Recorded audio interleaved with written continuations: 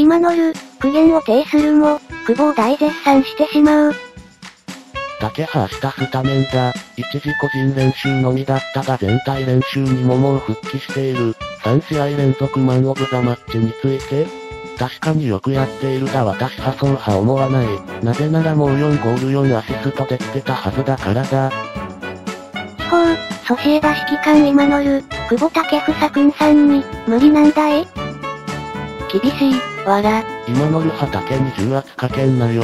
それよりもチームの状態考えろよ。今のるくんはゲームのクローズのさせ方考えてくれよ。久保に4ゴール4アシストするようなチャンスあった？メッシのような技術あればできたかな。しかし、それは望みすぎだ。